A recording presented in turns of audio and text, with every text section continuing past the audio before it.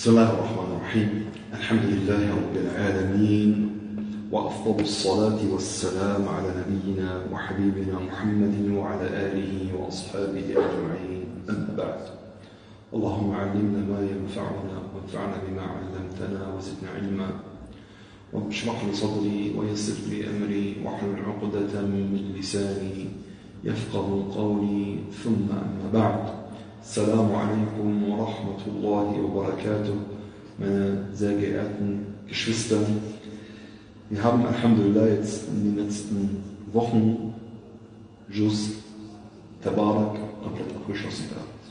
Letzte Woche mit dem letzten Teil von der Surah Al-Mulk.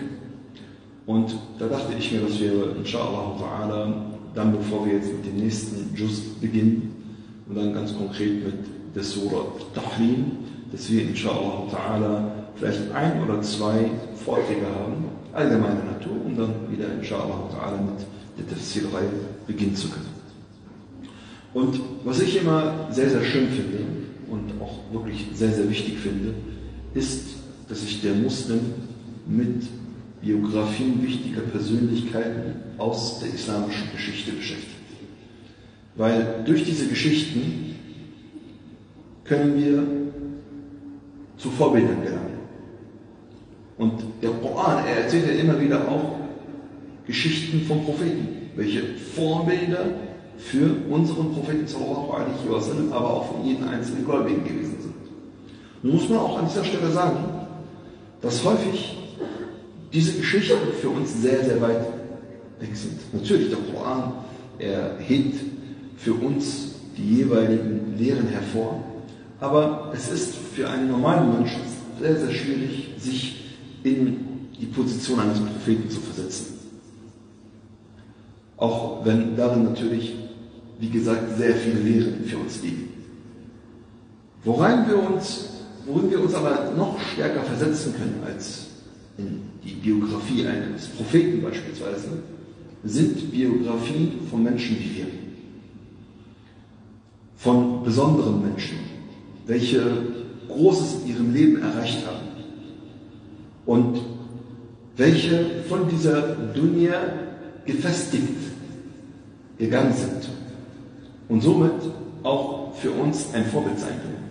Weil so wie es die Gelehrten gesagt haben, Al-Hayyu la yu'manu alayhi fitna.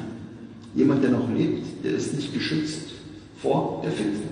Es kann immer sein, dass jemand abkommt vom richtigen Weg. Ganz gleich, wie viel er geleistet hat für den Islam, was er alles getan hat. Und wir haben hier, subhanallah, viele Beispiele, ohne Namen zu nennen. Aber es gibt viele Beispiele auch in unserer heutigen Zeit von Leuten, die wir als Vorbilder gesehen haben und die dann komplett abgekommen sind.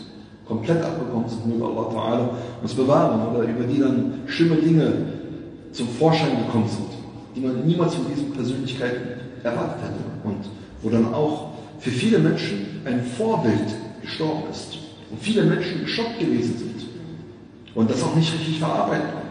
Aber wenn wir über verstorbene Menschen sprechen, die schon zu ihrem Schöpfer zurückgekehrt sind, dann wissen wir, es kann sich an ihrer Lebensbiografie nichts mehr ändern. Und Allah subhanahu wa ta'ala hat sie befestigt. Und eine dieser ganz großen Persönlichkeiten, meine lieben Geschwister, ist ein großer Imam aus dem 5. Jahrhundert nach der Hijra. Ein großer Imam aus dem 5. Jahrhundert nach der Hijra. Ja, man ist sich eigentlich einig unter den muslimischen Gelehrten, dass es sich hierbei um den Mujaddid des 15. des 5. Jahrhunderts nach der Hijra handelt. Was ist ein Mujaddid? Ein Mujaddid ist ein Reformer. Wörtlich übersetzt ein Erneuerer. Gemeint ist ein Reformer, der die Religion wiederbelebt. Und unser Prophet sallallahu alaihi wasallam, er sagte, dass Allah subhanahu wa ta'ala immer zum Ende eines Jahrhunderts, nach 100 Jahren, jemanden schickt, der für die Muslime die Religion erneuern wird. Mit erneuern ist nicht gemeint verändern, sondern die Menschen wieder zur Religion zurückführen wird. und ihnen aufzeigen wird, wie der reine und wahre Glaube auszusehen hat. Und der Mujaddid des 5. Jahrhunderts ist ohne Zweifel der große Imam, über den wir uns heute oder mit dem wir uns heute beschäftigen wollen, und zwar Imam Abu Hamid al-Ghazali. Und ich habe diesen Vortrag heute Imam Abu Hamid al-Ghazali genannt und die Suche nach der Erkenntnis. Weil wenn es etwas gibt im Leben von diesem großen Imam, dann ist es seine dauerhafte Suche nach der Erkenntnis. Und Allah subhanahu wa ta'ala, er sollte ihn auch dabei geleitet haben. Und subhanallah, er sollte auch für seine Nachwelt ein gewaltiges Werk, viele Werke, aber ein ganz besonderes Werk dann auch hinterlassen haben, durch das jeder Muslim eigentlich seine Religion erneuern kann. Aber dazu später mehr, inshallah. Wir wollen uns jetzt einfach mal die Biografie von Hamid al-Ghazali anschauen. Schauen, woher er kommt, wie er groß geworden ist, wie er sich entwickelt hat, wie seine Stationen und Phasen im Leben gewesen sind, um dann zu versuchen, auch daraus jeweils Lehren für uns ganz persönlich zu ziehen. Es geht heute nicht nur darum, dass wir einfach eine Biografie erzählen, nein, sondern es geht darum, dass wir heute über ein Vorbild sprechen, nach dem wir uns orientieren sollen. Ganz wichtig. Die Biografie kann ich einfach im Internet nachlesen. Ich kann dann sicherlich auch etwas lernen. Aber es geht nicht um biografische Daten, sondern es geht darum, dass wir versuchen, aus diesem reichen Leben zu lernen, um dann Lehren daraus für uns ganz persönlich zu ziehen und in unserem Leben dann selbst umsetzen zu können. Das ist das Ziel dieses Vortrages. Und wir beginnen inshallah ta'ala zunächst erst einmal mit der Zeit, in der Imam al-Ghazali gelebt hat. Und wie man so schön in der arabischen Sprache sagt, der Mensch ist das Kind seiner Zeit. Jeder Mensch ist das Kind seiner Zeit. Ich kann mich von meiner Zeit nicht trennen, das ist etwas ganz Wichtiges. Und das ist auch nochmal ganz wichtig, wenn ich einen Menschen bewerte oder beurteile oder sein Lebenswerk beurteile. Es mag sein, dass er in einer Zeit gelebt hat, wo komische Vorstellungen vorhanden gewesen waren. Und ich muss ihn aber in diesem Kontext sehen. Ich gebe euch mal ein Beispiel, das ist ganz, ganz wichtig. Ja, und das hilft uns auch dabei, selbst die Sire unseres Propheten sallallahu alaihi wasallam besser zu verstehen und bestimmte Dinge in der Sire, die uns heute komisch vorkommen, besser zu verstehen. Und zwar, ich habe gestern, ich glaube gestern war das gewesen, habe ich einen, einen Aufsatz gelesen. Oder ich, ich weiß gar nicht, habe ich einen Aufsatz gelesen? Äh, irgend, also ich weiß gar nicht ich glaube irgendwo online habe ich was gelesen. Und zwar, nee, das war ein Buch gelesen, genau. Ein Buch war das gewesen. Also ich kannte das Buch, hier das Buch hier, das ist das Buch von Tarek Bay, das lese ich gerade, die neuen alten Deutschen. Die neuen alten Deutschen kennt ihr, das ist ja unser muslimischer Journalist, ja. Und ähm, der hat das in seinem Buch ähm, äh, auch beschrieben. Es gab, äh, wie gesagt, ähm, eine sogenannte, ähm, ich glaube, er hat es genannt, Antisemitismusdiskussion. Ja, das war Ende des ähm, 19. Jahrhunderts gewesen, so um 1870 herum, ich habe jetzt nicht genau die Daten im Kopf, zwischen zwei Historikern, unter anderem auch der Historiker Mommsen. Und interessant ist, ja, was man dabei erkennt, dass Mommsen auch, obwohl er gegen den Antisemitismus gewesen war, der sich verbreitet hatte in seiner Zeit, trotz alledem sehr stark beeinflusst gewesen war von dem Rassendenken. Und wenn man also den Historiker Mommsen jetzt, der ein also sich gegen Antisemitismus gestellt hat, bewerten möchte und beurteilen möchte, dann darf man ihm keine Vorwürfe machen, dass er in Rassen gedacht hat, weil das einfach zu der damaligen Zeit so gegeben war. Das ist ganz, ganz wichtig. Immer ein Beispiel. Wenn wir uns jetzt mit der Frühgeschichte des Islams beschäftigen und allgemein mit der islamischen Geschichte, dann sehen wir, dass immer wieder was vorkommt, immer wieder hören wir von Sklaven. Und dann wundern wir uns, hä, wie kann das denn sein, dass die Menschen damals das einfach so akzeptiert haben? Die Menschen sind die Kinder ihrer Zeit, sie haben sich eine Welt ohne Sklaven nicht vorstellen können.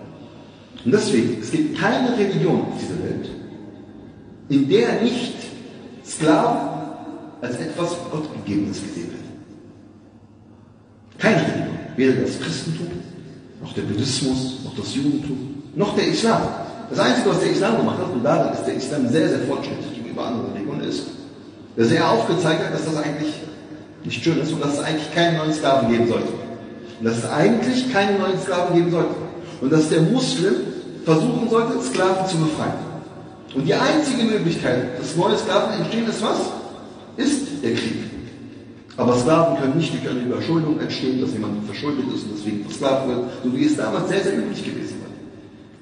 Und das müssen wir verstehen, dass die Menschen die Kinder ihrer Zeit sind. Und die dementsprechend so etwas wie Sklaventum als etwas ganz Normales angesehen haben. Und wenn ich dementsprechend heutzutage bestimmte Dinge beurteile, kann ich nicht sagen, die hatten Sklaven gehabt, wie schlimm. Was sind das für Unmenschen gewesen? Nein, für sie gehörte das zur Gesellschaft. Du kannst dich nicht herausbeamen aus deiner Welt, das funktioniert nicht. Genauso wie wir heute bestimmte Diskurse haben, ja, werden uns die Menschen auch in 20 oder 30 Jahren beurteilen werden sagen, was habt ihr denn damals gedacht? Wie konntet ihr nur so denken? Ja, wir sind Kinder unserer Zeit. Wir können uns nicht trennen von unserer Zeit, herausbeamen, von oben auf die Zeit herabschauen, das funktioniert nicht. In 10, 20 Jahren, vielleicht 30 Jahren wird es ganz neue Ideen geben und die Menschen werden sich wundern, wie konnten die Menschen damals so gedacht haben. Und das ist sehr, sehr wichtig, dass ihr das versteht. Und deswegen wollen wir uns einfach mal die Zeit anschauen, in der Imam al-Ghazali gelebt. Was es für eine Zeit gewesen war, was die Ideen betraf. Und zwar war es eine Zeit gewesen, in der es in der islamischen Welt vier sehr, sehr starke Ideologien gab, die vorherrschend gewesen waren. Wir haben einmal die Ideologie der Philosophen. Die Philosophie war der damaligen Zeit sehr stark verbreitet gewesen. Und viele Philosophen haben Ideen entwickelt, auch muslimische Philosophen, welche den Grundlagen des Islams widersprachen. Ebenfalls, was sehr stark verbreitet war in dieser Zeit, war die sogenannte Batiniya-Bewegung.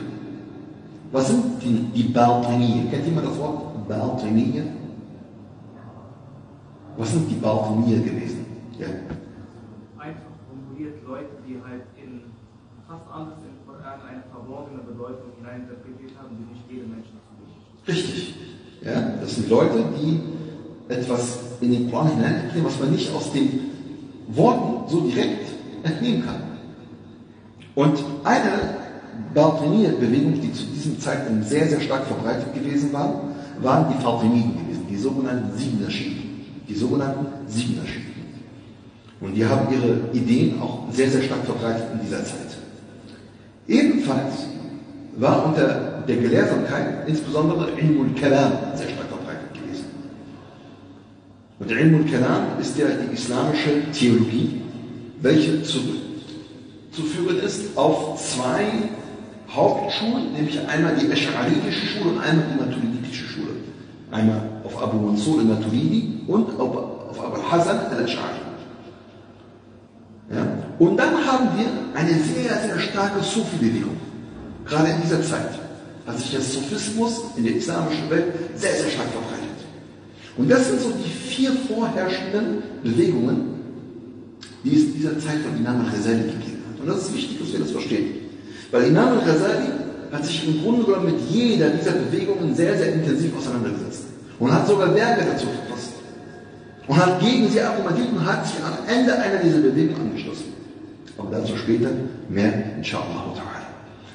Also, wir haben so eine Zeit, wo sehr viele Ideen vorherrschen und sich auch verbreiten und verbreitet werden. Und Imam al-Ghazali wird genau in diese Zeit hineingeboren. Er wird geboren 450 nach der Hijra. Das ist das Jahr 1058 nach Christus. Also das 11. Jahrhundert nach Christus, ja, das 5. Jahrhundert nach der Hijra. Wo wird er geboren? Im heutigen Iran, in der Stadt Dus. Im heutigen Iran, in der Stadt Dus, ja, und das befindet sich in der Nähe von der Stadt Mashhad. Das ist im östlichen Teil des Iran, in der Nähe zu Turkmenistan. In der Nähe zu Turkmenistan. Auch hieraus können wir wieder etwas sehr, sehr Wichtiges lernen. Und zwar die Vielfalt, welche wir, subhanallah, in der islamischen Welt haben an Gelehrten. Der Islam, der also, ne? Islam, ihr könnt euch hier sitzen, auch hier kann man sich doch sitzen, schauen, wenn man möchte, schauen. Ja, ähm, daraus, genau, Barakallahu Wir haben extra einen Ausgang gemacht für die Brille. Okay, ich glaube nicht, wie wir das wollen. Wir müssen nächstes Mal wirklich eine Absperrung machen hier, weil irgendwie funktioniert das einfach nicht. Ja, dass wir hier so ein Band hinmachen, dass dann, inshallah, auch die Brüder wissen, wo sie raus können und die Schwestern wissen, wo sie raus können. Weil, also mir gefällt das gar nicht, dass immer sage ich mal, die Brüder durch die Schwestern müssen oder umgekehrt. Das ist ein bisschen unangenehm für alle. Tamam, ciao, Barakallahu fikum. Also ich bitte die Brüder nachher, wenn sie rausgehen, bitte da ist extra ein Eingang für Brüder, inshallah, dann ein Ausgang für Brüder, wie gesagt, sehr schön. Ähm, machen wir weiter, inshallah. Das heißt in anderen Worten, subhanallah, das zeigt nochmal, der Islam ist wirklich eine universelle Religion. Eine Religion, ja, die wirklich alle Menschen angesprochen hat und dementsprechend aus allen Kulturen, aus allen Ländern dieser Welt große Gelehrte entstanden sind. Und es völlig egal gewesen ist, ob du Araber warst, ob du Perser warst, ob du äh, sozusagen Inder bist, ob du Afrikaner bist, das, darauf kommt es überhaupt, ob du Berber, Berber bist, darauf kommt es überhaupt nicht an. Sondern es kommt darauf an, was du den Muslimen bieten kannst. Und deswegen, den Leuten ist das völlig egal gewesen, aus welchem Land du kommst. Wenn sie gehört haben, ah, da ist ein großer Gelehrter, haben sie nicht gefragt, woher stammt er eigentlich? Sondern sie haben gefragt, was ist das Wissen, was er lehrt? Und sind dann zu ihm gereist. Manchmal nur tausende von Kilometern, nur um zu einem Gelehrten zu gelangen, von dem sie etwas hört. Das Wissen hat sich wahrlich verändert. Deswegen ist es auch in unserer heutigen Zeit. Wo finden wir, noch vor nicht allzu langer Zeit, die kürzesten Essenit? In der Hadith-Wissenschaft. Also die höchsten Isnad. Man sagt Isnad Ali. Isnad Ali ist ein kurzer Isnad. Das heißt eine kurze Überliefererkette. Wo finden wir die kürzesten Isnad? Indien. Genau. Subhanallah. Ja? Große indische Gelehrte hatten wirklich die kürzesten Asanid, also man sagt die höchsten Asanid.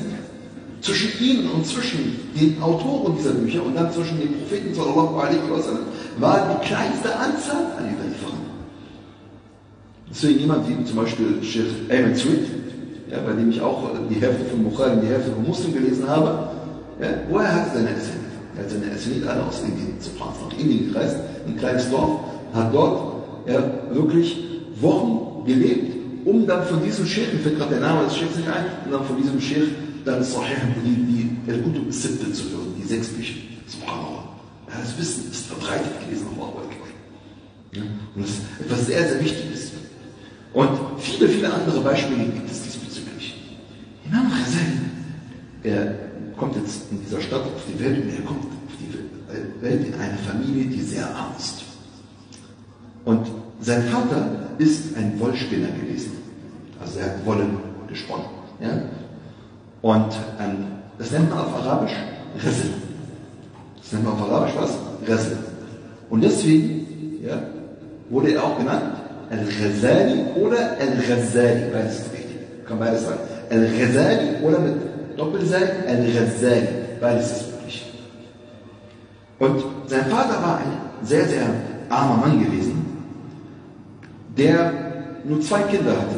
Und zwar Muhammad, über den wir sprechen, ja, Abu Hamid, dann auch genannt, und ja, Ahmed, ja, sein Bruder gewesen. Auch sein Bruder, Subhanallah, sollte eine wichtige Rolle spielen. Und als der Vater von den beiden Kindern gemerkt hat, dass er nicht mehr lange zu leben hat, hat er zu einem seiner Freunde gesagt, und zwar ein Sufi gewesen, also jemand, der sich mehr so auf die innerliche Läuterung konzentriert hat, hat er zu ihm gesagt, schau mal, ich habe nicht mehr lange zu leben. Und ich hatte eigentlich immer einen Wunsch gehabt, dass ich selbst lesen und schreiben kann, aber ich konnte das nicht lernen. Und ich hoffe, dass Allah subhanahu wa ta'ala mir das durch meine Kinder geben wird. Und deswegen, das Geld, was ich dir hinterlasse, und er hatte nicht viel Geld gehabt, das sollst du bitte alles nutzen, damit meine Kinder lesen und schreiben lernen. Und er ist zu seinem Schöpfer zurückgekehrt. Das Einzige, was er hinterlassen hat, zwei kleine Jungs und ein bisschen Vermögen, was dann dieser Mann für seine Kinder verwalten sollte. Ein Waisenkind. Und auch hier nochmal, subhanallah, immer wieder haben wir das. Allah subhanahu wa ta'ala, er nimmt dir etwas, aber gibt dir dafür etwas anderes. Wir haben so viele Beispiele von Gelehrten in der islamischen Geschichte, welche als Waisenkinder auf die Welt gekommen sind. So viele Beispiele. Und natürlich der beste Mensch überhaupt, unser Prophet sallallahu alaihi wasallam. Nennt mir mal ein paar Beispiele von Weisen, Gelehrten, die als Weisen auf die Welt gekommen sind. Oder als Weisen groß geworden sind. Nennt mir mal ein paar Beispiele. Viele Beispiele.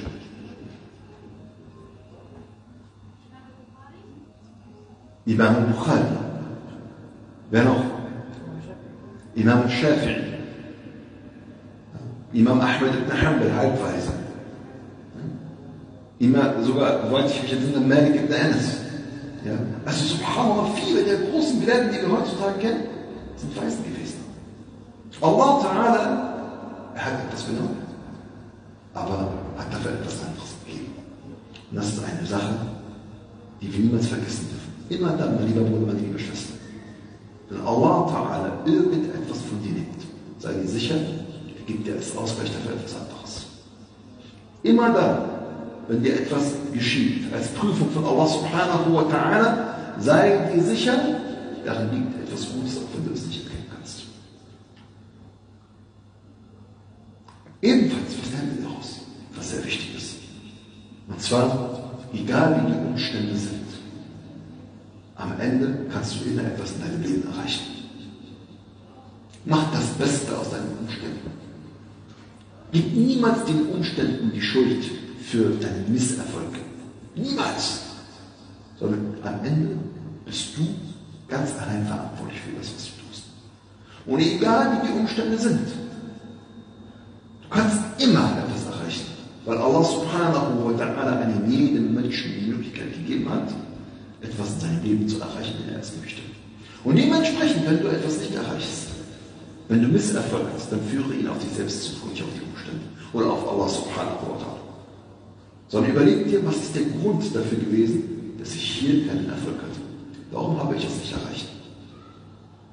Weil nur so kannst du wirklich in deinem Leben etwas verändern. Wenn du immer den anderen die Schuld gibst, dann wirst du niemals was verändern. Weil die anderen werden sich für dich nicht verändern. Oder? Die anderen werden sich für dich nicht verändern. Man hat das immer wieder, wenn Schüler beispielsweise schlechte Noten in der Schule haben. Ja, die Lehrer, die mochten mich nicht. Das heißt, die Lehrer mochten mich nicht. Ein Lehrer, okay, verstehe ich. Kann jedem mal passieren. So wenn ein Lehrer nicht klarkommt, haben wir alle gehabt. Aber alle Lehrer? Warum? Gibt es eine Verschwörung gegen dich, dass alle sich gegen dich verschworen haben? Überleg doch mal, warum du schlechte Noten hast. Vielleicht arbeitest du an dir selbst. Warum? Sehen dann alle, dass du falsch liegst in deiner Familie? Vielleicht liegst du auch wirklich falsch. Durch deine Familie. Und das sind Dinge, über die ich mir Gedanken machen muss. Ja? Nur so kann ich mich verändern. Wenn ich schaue, was war der Grund für meinen Misserfolg gewesen und dann daran arbeite. Aber solange ich immer meinen Umständen die Schuld gebe, Allah die Schuld gebe, den anderen Menschen die Schuld gebe, werde ich niemals etwas verändern. Und ich werde mein Leben lang so bleiben. Und ich werde mich mein Leben lang immer darüber aufregen, ja, es sind immer die anderen, die Schuld haben. Und ich werde von dieser Dunja gehen und auf meinem Grab steht, die anderen hatten Schuld. Subhanallah. Ja, so ist das doch, oder? Und gibt es nicht viele Menschen, die genauso sind? Ja, vielleicht bist du ja sogar selbst so und du hast noch gar nicht gelernt. Vielleicht bist du sogar selbst so und du hast noch gar nicht gelernt. Arbeite an dir selbst. Mach das Beste aus deinem Leben und sei dir sicher, du kannst alles erreichen, was du erreichen möchtest. Wenn du bereit bist, an dir zu arbeiten. Imam al-Hassan, er ist jetzt noch ein kleiner Junge und dieser Sufi, der sich um dich kümmern sollte, er hat sie jetzt in eine Schule geschickt. Und er hat alles ausgegeben für sie, was er hatte, bis er nichts mehr hatte. Man hat sie dann in ein Internat übergeben, wo sie, Alhamdulillah, zumindest etwas zu essen hatten. Und wo sie übernachten konnten. Und sie haben dort zunächst erst einmal nur gelebt, um etwas zu essen zu haben und übernachten zu können. und haben dann aber nebenbei noch etwas gelernt. Und hier hat jetzt Subhanallah, und das passt auch sehr schön zu der gesamten Biografie von Imam Ghazali. Weil das, was sich durch seine gesamte Biografie durchzieht, ist der Ikhlas, die Aufrichtigkeit im Glauben, wie wir noch sehen werden, inshallah. Und zwar sagte Imam Ghazali über seine Kindheit in diesem Internat, über sich und seinen Bruder, طلبنا العلم لغير الله فأبى إلا أن يكون لله. Das ist ein schönes Zitat, subhanallah. Wir haben nach Wissen gestrebt für etwas anderes als Allah, um übernachten zu können, um etwas zu essen zu haben. Aber am Ende sollte es für Allah sein. Subhanallah, was für ein Zitat. Und das hat sich durch seine gesamte Lebensgeschichte hindurchgezogen. Weil auch am Anfang, wie wir gleich sehen werden, inshallah, als er angefangen hat, berühmt zu werden, hat er zunächst erst einmal das Wissen gelehrt und gelehrt und gelernt, um damit anzugeben, um ein großer Gelehrter zu sein. Bis ihm bewusst gewesen ist, dass das alles nichts bringt. Also er hat es zunächst erst einmal nicht für Allah getan, aber am Ende sollte es für Imam Ghazali, er wächst jetzt also mit seinem Bruder auf und äh, dann in jungen Jahren, als er gerade mal 15 Jahre alt gewesen war, das war das Jahr 465 nach der Hijra, also im Alter von, 5, von, von 15 Jahren, ist er dann an einen anderen Ort gereist, der heißt Durjan. Ich glaube, das ist auch im Iran, ich bin mir nicht ganz sicher. Und hat dort bei einem Sheikh, der hieß Sheikh Ismaili, hat er angefangen zu lernen und hat sich dann dort aufgehalten und hat einiges mitgeschrieben. Und jetzt wollte er zurück in seine Heimatstadt Dus. Und wir wissen damals, die Wege waren nicht gesichert wie das heute ist. Und auf dem Weg nach Dus wurde er von Räubern überfallen. Wahrscheinlich war er in einer Karawane gewesen, wie auch immer, die Karawane wurde überfallen. Und sie haben natürlich alles mit sich genommen. Und dann ist er zu dem Anführer dieser Bande gegangen und sagte zu ihm, schaut mal, ihr habt etwas bei euch, was für euch keinen Wert darstellt. Aber für mich einen sehr, sehr großen Wert darstellt. Und dann fragte er ihn, was ist es denn? Er meinte, das sind so meine Notizen, die ich aufgeschrieben habe bei meinem Lehrer. Das sind meine Notizen, die ich aufgeschrieben habe bei meinem Lehrer, ja, für die ich extra ausgewandert bin, um sie zu hören, um, damit ich das Wissen habe. Und dann lachte dieser Anführer. Er lachte. Und sagte dann zu ihm, wie kannst du denn behaupten, dass du weißt, was in ihm steht? Wenn ich sie dir wegnehme, dann ist das Wissen doch auch weg. Man hat sich über ihn lustig gemacht.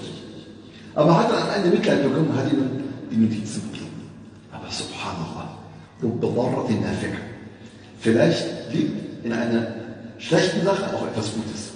Vielleicht liegt auch in einer schlechten Sache etwas Gutes. Es sollte nämlich eine Lektion für ihn sein. Diese Worte dieses Räuberanführers, die haben ihn so geprägt, dass er beschworen hat, das gesamte Wissen, was er aufgeschrieben hat, diese gesamten Notizen, sich auch wirklich einzubringen. Und er hat drei Jahre lang gesessen und sich diese Notizen eingeprägt. Und zwar von 470 bis 473 nach der Hijra. Wie alt war er jetzt in Ghazali gewesen? 23 Jahre. Alles auswendig gelernt. Weil er gemerkt hat, das wahre Wissen liegt nur worin? Das wahre Wissen liegt worin? Darin, dass ich es im Kopf habe, dass ich es auch verinnerlicht habe. Nicht, dass ich einfach nur aufschreibe. Wie ist es denn erst, wenn ich es weder aufschreibe, noch im Kopf habe? Das ist natürlich ein großer Bus. Und deswegen sage ich immer, Brüder, Schwestern, mitschreiben. Mitschreiben, weil ich habe zumindest etwas in meiner Hand. Ja? Dass ich da ab und zu mal reinschauen kann. Weil nicht jeder von uns wird ein Präser ja? Aber, ja, dass ich dann es weder mitschreibe, ja, noch im Kopf behalte, natürlich eine Muslime. Da habe ich nämlich meine ganze Zeit verplempert und verschwendet. Ja, ich habe zwar vielleicht an diesem Tag etwas mitgenommen, aber ich habe es nicht wirklich verinnerlicht. Jetzt, im Alter von 23 Jahren, er ist jetzt ein junger Mann, begibt sich Imam al-Ghazali in die bekannte Stadt Nisapur. Wo befindet sich diese Stadt? Nishapur? Weiß jemand? Hm? Nisapur? Sie ist meines Wissens auch im heutigen Iran. Aber wir gucken gleich mal nach. Hm, dass wir das auch haben, inshallah. Meines Wissens ist Nisapur auch Ja, es ist im Osten von Iran. Ne? Auf im Deutsch sagt man Nishapur. Auf Deutsch sagt man Nishapur. Also befindet sich im heutigen Iran. Und Imam Ghazali, er macht sich jetzt auf den Weg nach Nishapur. Warum? Weil dort befindet sich ein, einer der gewaltigsten Gelehrten seiner Zeit.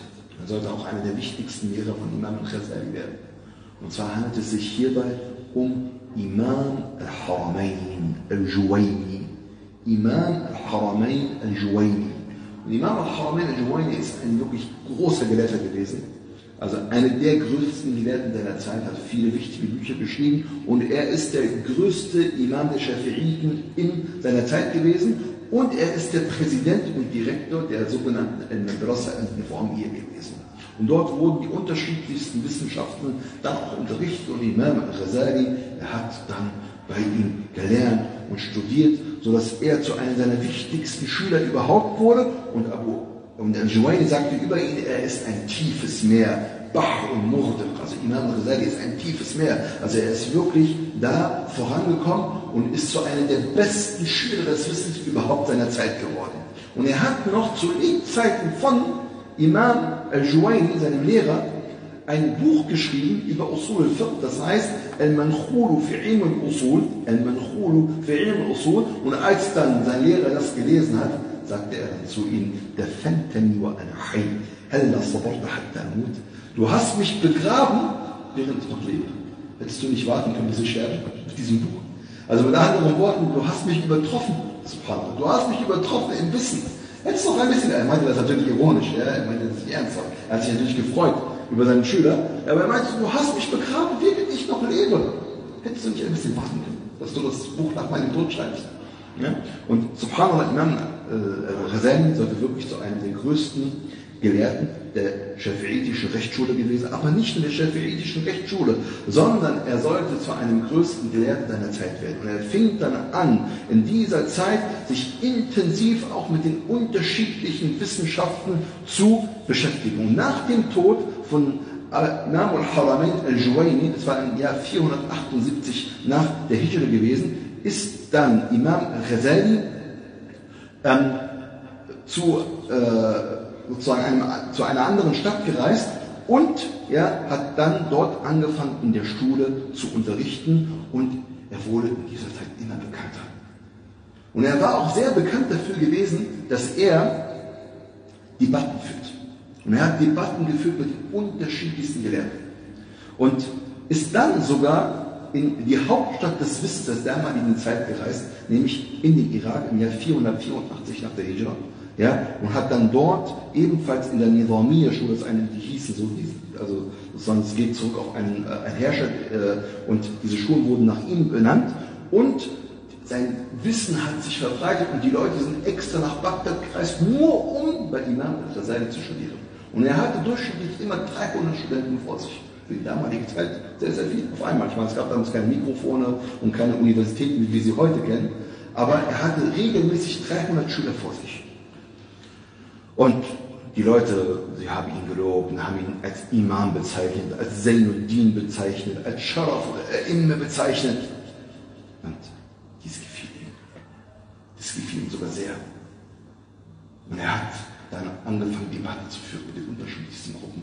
Er hat Debatten geführt mit den Philosophen und hat Bücher geschrieben gegen die Philosophen. Hat sich zwei Jahre lang nur mit der Philosophie auseinandergesetzt und war dann darin so gut gewesen wie die Philosophen selbst.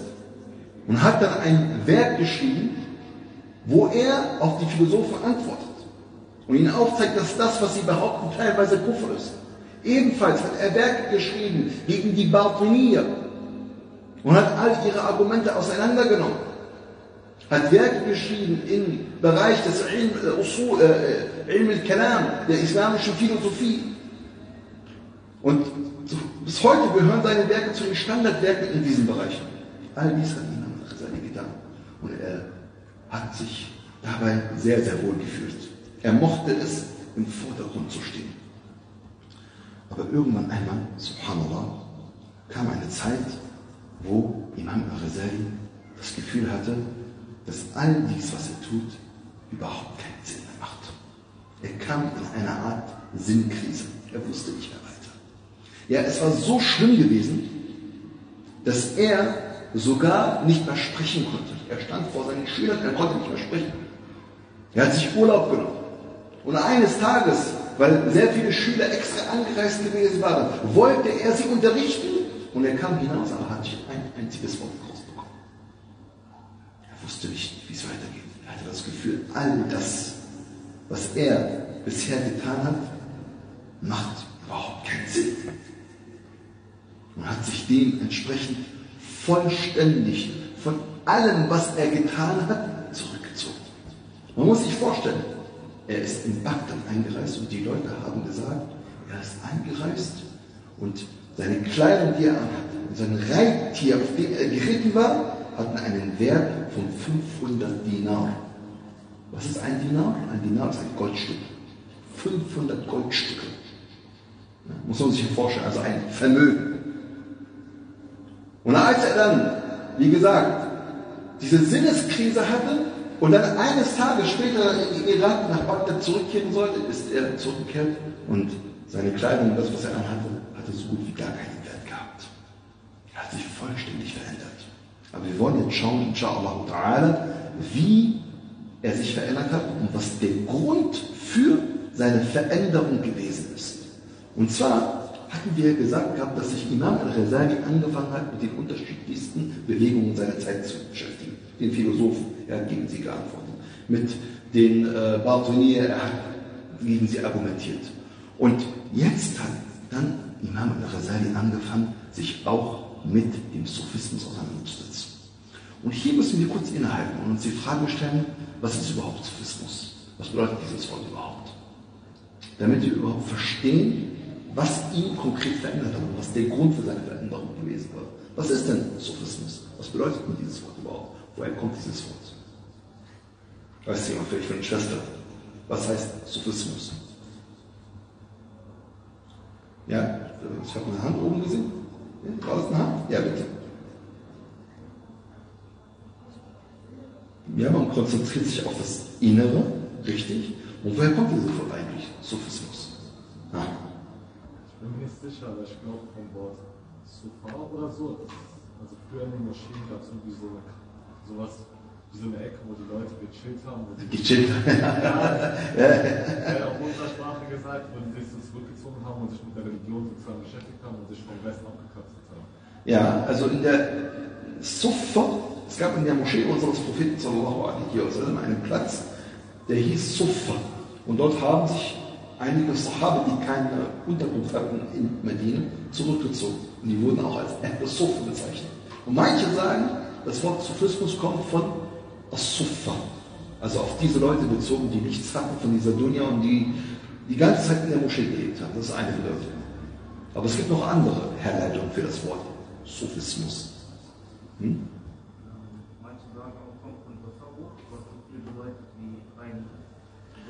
Von Safa. Genau, von Safa. Und Safa heißt, dass ich mich innerlich reinige. Ja? Dass ich mich was? Innerlich reinige. Also, dass ich rein bin. Ja? Safa. Manche sagen auch, es kommt von Suf. Und Suf heißt was? Wollen. Weil nämlich die Sufis sich sehr, sehr günstig, also wie heißt das, also sie haben nicht auf ihr Äußeres Wert gelegt. Und dementsprechend haben sie sehr, sehr harte Kleidung ja, getragen ja, und nicht teure Kleidung wie Seide oder anderes. Und deswegen wurden sie als was bezeichnet? Als Sufis. Ja, das sind alles was? Ähm, Herleitungen für das Wort Sufi. Aber am Ende ist es, wie die Schwester gesagt hat. Das sind diejenigen, welche eigentlich versuchen, sich auf ihr Inneres zu konzentrieren. Auf ihr Inneres zu konzentrieren, um ihr Inneres zu reinigen. Und genau das ist es, was dann Imam Ghazali in dieser Zeit kennengelernt hat. Er hat nämlich einen bekannten Sufi seiner Zeit, der auch in Bagdad gelebt hat, kennengelernt, hat an seinen Sitzungen teilgenommen und dies muss ihn in irgendeiner Weise beeinflusst haben. Subhanallah. Dieser Sufi hieß Al-Fadl, Sheikh Al-Fadl ibn Muhammad Al-Farmadi, Al-Farmadi und war sozusagen einer der Hauptsufis seiner Zeit gewesen in Bagdad. Und in dieser Zeit muss er ihn irgendwie beeinflusst haben.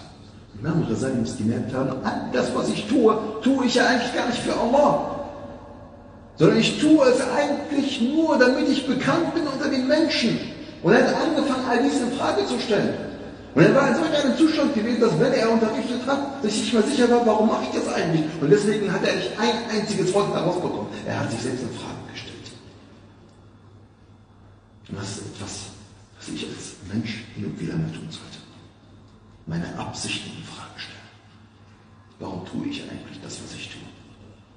Ich brauche manchmal einfach diese Auszeit als Mensch. Selbst unser Prophet sallallahu alaihi wa sallam, lieben Geschwister, er hat sich diese Auszeit genommen. Im Ramadan hat er sich was? Zehn Tage lang zurückgezogen. Um einfach mal über sich selbst nachzudenken, wo stehe ich eigentlich? Was tue ich eigentlich? Was mache ich eigentlich? Bevor unser Prophet sallallahu alaihi wa sallam Prophet wurde, was hat er getan? Er hat meditiert in sich Gedanken gemacht über die Welt. Und auch das benötige ich. Aber gerade in unserer heutigen Zeit ist das sehr schwierig geworden. Durch die gesamten Einflüsse, die wir haben. Ja? Ich merke das immer wieder auch bei mir selbst, subhanallah. Ja, diese Einflüsse durch Instagram, Facebook, man merkt, man kommt nicht zur Ruhe. Die Seele kommt nicht zur Ruhe. Man hat gar keine Zeit mehr, über sich selbst nachzudenken. Ja, man guckt sich ein Video an, schon das nächste Video. Und man ist den ganzen Tag damit beschäftigt. Man hat nicht mehr mal die Ruhe, vielleicht ein Buch in die Hand zu nehmen und sich auf ein Buch zu konzentrieren, wie man das früher machen konnte. Man ist immer abgelenkt, permanent abgelenkt. Immer kommt eine neue Nachricht, WhatsApp-Nachricht. Immer kommt dann, weiß ich nicht, noch das oder jenes, eine E-Mail kommt rein, ein Anruf kommt rein. Man ist abgelenkt. Aber, meine lieben Geschwister, Wallahi, ich sage euch, wir brauchen genau diese Auszeiten, wo wir uns einfach mal Gedanken über uns selbst machen. Wo stehe ich eigentlich? Warum mache ich, was ich mache? Warum mache ich, was ich mache? Ist meine Absicht eigentlich rein? Wofür lebe ich eigentlich? All diese Fragen hat sich Imam al-Ghazali gestellt. Und er sagt dann in einem seiner ganz wichtigen Bücher, in denen er auch diese, die, seine Reise zur Erkenntnis beschreibt, er sagt ganz klar und deutlich, dieses Buch heißt Al-Munqiz min al der Erretter vor dem Irrweg. Er sagt, ich stand an einem Abgrund des Höllenfeuers. Hätte ich so weitergelebt, dann wäre ich im Höllenfeuer. Ich stand an einem Abgrund des Höllenfeuers. Und er wusste nicht mehr, was er tun soll. Und er hat angefangen, sich komplett zurückzuziehen. Er wollte nicht mehr unterrichten. Und er sagte jetzt zu dem Herrscher, weil er war die, so einer der Hauptlehrer gewesen in dieser Schule, er sagte dann zu ihm, ich möchte die Hajj machen. Hat dann diese Sache genutzt, um die Hajj zu machen und dann nach Ascham zu gehen und sich dort komplett zurückzuziehen. Und sich dort komplett zurückzuziehen. Er hat sich zurückgezogen in einer Moschee zwei Jahre lang, wo er von morgens bis abends gesessen hat und nichts anderes getan hat als Pedale und als Tefakkur. Er hat nachgedacht, zwei Jahre. Von morgens bis abends hat er keinen Kontakt zu Menschen gehabt. Das ist unglaublich. Und diese Reise, auf der er sich befand, diese Reise nach der Erkenntnis, wo er sich selbst reinigen wollte, sie dauerte ganze elf Jahre. Elf Jahre lang hat sich Imam al-Ghazali mit sich selbst beschäftigt. In dieser Zeit war er zwei Jahre in Damaskus gewesen. Dann ging er nach Jerusalem, er ging nach Hebron, ebenfalls pilgerte er nach Mekka, er blieb einige Zeit in Alexandria. Also er hat subhanallah in dieser Zeit mehrere Orte bereist, um einfach mit sich selbst beschäftigt zu sein und war auf der Reise nach der Erkenntnis. Und in dieser Zeit hat er dann auch angefangen, sein wohl wichtigstes Werk überhaupt zu verfassen. Und von diesem Werk können wir noch so viel lernen. Und es ist so wichtig, dass sich der Muslim auch mit diesem Werk auseinandersetzt. Und zwar, wie heißt denn das wohl wichtigste Werk von Imam al-Ghazali? Sehr gut. Die Wiederbelebung der religiösen Wissenschaften. Die Wiederbelebung der religiösen Wissenschaften. Dieses Werk hat er genau in dieser Findungsphase geschrieben, wo er sich selbst geläutet hat.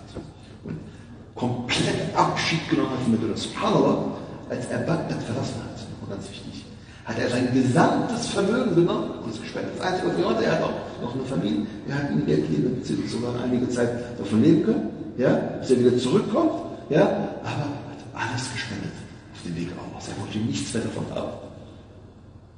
Und jetzt schreibt er in dieser Zeit dieses wichtige Werk, Dieses das wollen wir uns noch mal kurz anschauen, inshallah, weil das nämlich so unglaublich wichtig ist, auch für jeden Einzelnen von uns. Weil Fi'l-Din ist unterteilt in vier Teile. Und diese vier Bereiche, in die es unterteilt ist, sind auch für uns unglaublich wichtig auf unserer Reise zu Allah subhanahu wa ta'ala. In Ihya Ulumuddin, in der Wiederbelebung der religiösen Wissenschaften, spricht er im ersten Viertel zunächst erst einmal über die Ibadat. Das, was dich zu Allah subhanahu wa ta'ala führt. Und alles, was damit zu tun hat. Und zwar spricht er nicht darüber, wie in einem Viertelbuch, wann ist mein Gebet gültig, wann ist es ungültig, sondern er spricht darüber, uns aufzuzeigen, warum verrichten wir überhaupt das Gebet? Was ist der Sinn und Zweck des Gebets? Also er geht auf den tieferen Sinn dieser Ibadat. Damit ich auch als Muslim verstehe, warum ich etwas tue. Ich mache es nicht einfach nur, um es zu tun, sondern ich tue es, weil ich mich, mich Allah Ta'ala näher Dann, im zweiten Kapitel, im zweiten Viertel spricht er über die sogenannten Adat, Rubu'ul Adat, wo er dann auch über die allgemeinen Handlungen spricht, wie das Heiraten, ja, wie das Streben nach Versorgung, das Arbeiten und so weiter und so fort, was ebenfalls wichtig ist, was ein Teil unseres Lebens ist. Und dass ich verstehe, warum ich all dies tue. Und jetzt geht er in der zweiten Hälfte des Buches auf den wohl wichtigsten Teil seines Werkes ein. Gerade wenn es darum geht, mich zu läutern als Muslim, damit ich zu Allah Ta'ala gelangen kann. Nämlich einmal geht er auf das Viertel, also nennt das dann das Viertel, das Kapitel der Al-Muhlikat. Was sind Al-Muhlikat? Was sind Muhlikat? Dinge, die mich ja, ja, mich ins Verderben führen. Also die Dinge, welche mich ins Verderben führen. Er spricht darüber. Und zwar spricht er hier über Herzenskrankheiten. Über Herzenskrankheiten. Er spricht über Ruhr, dass ich eingebildet bin, der Kabbur, hochmütig bin, die Liebe zu Dunya, die Liebe zur Macht, ja, dass ich meine niederen Begierden befolge und wie, wie gesagt, und all diese Dinge, wie ich davon Abstand nehmen kann, weil sie stürzen die Menschen ins Verderben. Und dann im letzten Kapitel spricht er dann über die Dinge, welche mich retten auf Arabisch, Al-Munjiat. Al-Munjiat, die Dinge, welche mich retten ja, wie die Taube, was eine wahre Taube ist. Die Ma'rifatullah, die Erkenntnis gegenüber Allah subhanahu wa ta'ala, dass ich mich schäme vor Allah subhanahu wa ta'ala, dass ich bereue, dass ich äh, Allah ta'ala um Entschuldigung bitte, über Sabr, über die Ehrfurcht gegenüber Allah, über das sozusagen die Ibadah des Tafakkur, wie ich über Allah, dass ich mir Gedanken mache über Allah ta'ala. Und das ist so wichtig, dass der Muslim sich immer wieder genau mit diesen Dingen auseinandersetzt. Weil wie oft tue ich eine Sache und ich denke, Alhamdulillah, ich bin ein aufrichtiger Muslim, aber ich habe im Herzen eine Krankheit, die mein ganzen Iman zerstört. Und ich weiß das gar nicht. Ich habe Kibber in meinem Herzen. Ich bin vielleicht in der Moschee aktiv. Ich äh, bete auch meine fünf Gebete am Tag. Alhamdulillah. Äh, ich mache auch etwas für die Gemeinschaft, aber ich bin hochmütig. Guck mal, Imam Ghazali, als er in Bagdad unterrichtet hat, hat er nicht etwas Gutes für die Gemeinschaft gemacht sogar viele gute Dinge. Er hat Bücher geschrieben, wo er äh, gegen Gruppen argumentiert hat, die eindeutig ja, vom Weg des Islams abgekommen sind. Etwas Gutes, doch etwas Gutes, oder? Und trotzdem wusste er, dass er sich an einen Abgrund des Feuers befindet. Warum? Weil er es nicht für Allah getan hat, sondern nur für sich selbst. Und was sagt unser Prophet sallallahu alaihi wasallam, damit uns einfach das bewusst ist? Er sagt sallallahu alaihi wasallam, die ersten drei, welche am jüngsten Tag von den Flammen des Höllenfeuers erfasst werden, sind wer? Ein Gelehrter und ein Shahid, ein Märtyrer und jemand, der sehr freigebig gewesen ist. Das sind die ersten drei, welche vom Höllenfeuer erfasst werden. Warum? Weil Allah subhanahu wa ta'ala wird den Gelehrten fragen, warum hast du das Wissen gelehrt? Und er wird sagen, ich habe es für dich getan, oh Allah. Woraufhin Allah sagen wird, du lügst. Und die Engel werden sagen, du hast gelogen. Du hast es nur getan, damit die Menschen sagen, du bist ein Gelehrter. Und es wurde gesagt. Und über den Shahid, die Märtyrer, genau dasselbe. Er wird gefragt, warum hast du das getan? Er meinte, ich habe es getan für dich, oh Allah. Und dann sagt Allah, du lügst. Die Engel sagen, du lügst, du hast es nur getan, damit die Leute sagen, du bist ein Held. Und es wurde gesagt. Und bei der dritten Person, die freigebig war genau dasselbe. Warum hast du es getan? Ich habe es getan, um auf deinem Wege etwas zu spenden. Allah wird sagen, du lügst. Die Engel sagen, du lügst. Du hast es nur getan, damit die Menschen sagen, du bist freigebig. Und dann sagt der Prophet, das sind die drei, die als erstes von den Flammen der Hölle erfasst werden am nächsten Tag. La ilaha illallah. Stell dir das mal vor. Du denkst, du bist auf dem guten Weg und in Wirklichkeit bist du das gar nicht. Deswegen ist es so wichtig, dass ich mich als Muslim immer wieder mit diesen Dingen beschäftige. Gerade in unserer heutigen Zeit, wo es so viele Versuchungen gibt wie noch nie zuvor. So viele Versuchungen wie noch nie zuvor. Versuchungen, die wirklich regelrecht zu Unglauben führen. Ich habe heute so ein kurzes Video. Jemand, der sich so ein bisschen spezialisiert hat, ein Gelehrter, der sich ein bisschen spezialisiert auf den, äh, auf den Bereich Atheismus.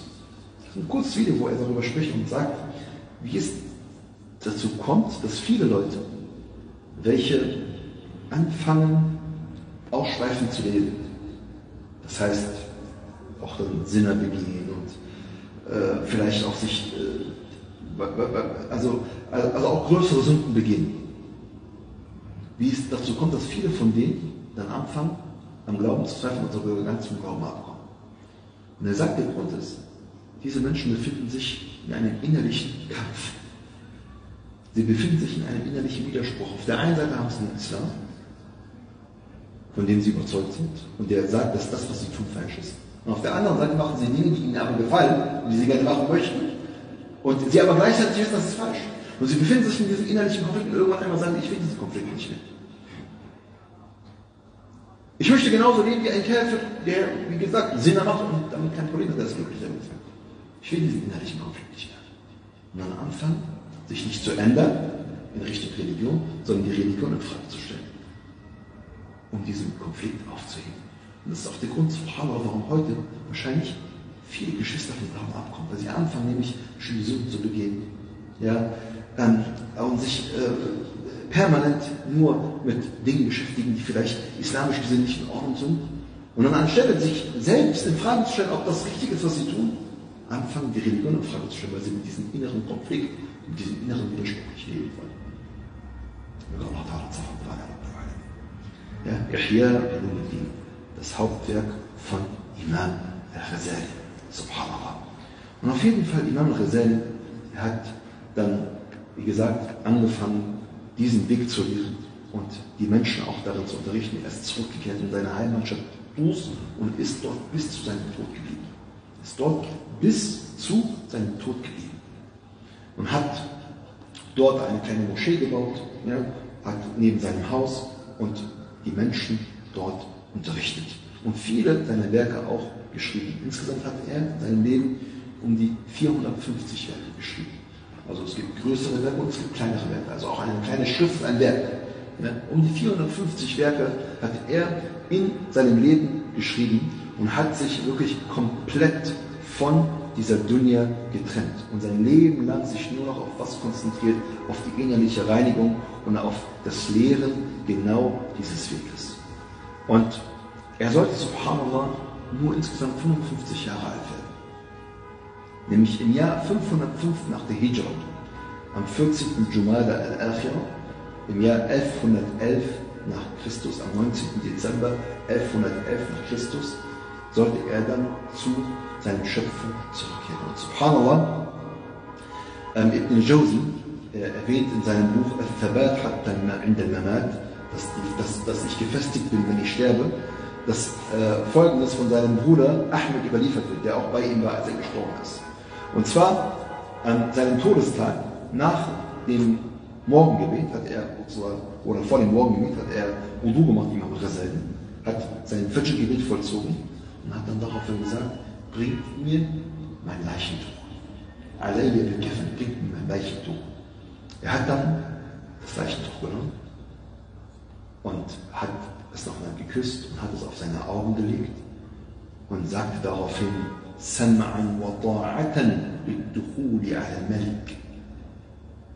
Also ich höre und ich gehorche beim Eintreten zum König. Also er meint in das Bereich, in das Reich Allah subhanahu wa ta'ala. Hat daraufhin seine Beine ausgestreckt, sich Richtung Triple gelegt und ist dann noch, bevor die Sonne aufgegangen ist, zu seinem Schöpfer zurückgekehrt. Ja, was für ein Tod, subhanallah. Ja, noch bevor die Sonne aufgegangen ist, ja, er hat Menschen gewählt, ja, sein Leichentuch genommen, ja, hat Richtung Triple gelegt und bevor die Sonne aufgegangen ist, ist er dann zu Allah subhanahu wa ta'ala zurückgekehrt. Und das Letzte, was er gesagt haben soll zu einigen seiner Gefährten, ist im Grunde genommen die Zusammenfassung seines gesamten Lebens. Was war nochmal die Eigenschaft, die ihn sein Leben lang begleiten sollte? Auf seinem Weg zu Allah subhanahu wa ta'ala, es war die Aufrichtigkeit gewesen, Al-Ikhlas.